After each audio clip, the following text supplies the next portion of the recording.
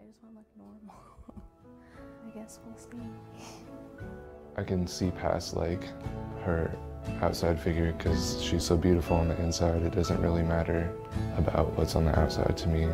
It's kind of scary to think about like what she's gonna look like because like who knows like it's just like a mystery so it's gonna be weird to get used to but it's not gonna determine like the way I act or feel around her like I'm always gonna think she's beautiful. It's gonna almost get 100 pounds big. 100 And it is. pounds? And it Oh my gosh. Know that. My head Probably this dragging big.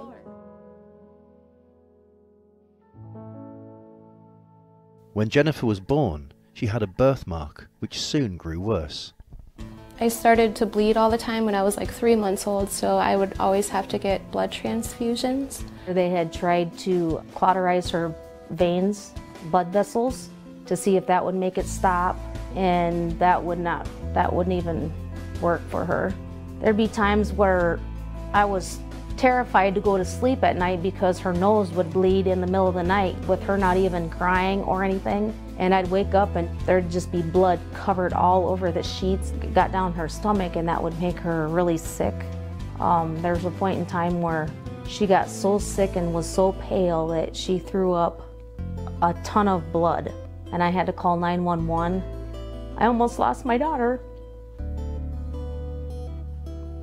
It was the scariest day of my life.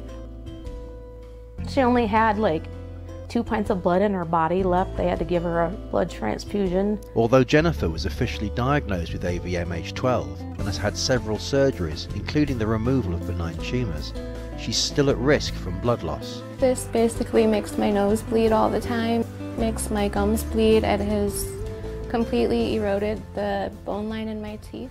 And if my teeth fell out, then I could bleed to death, so that really impacts.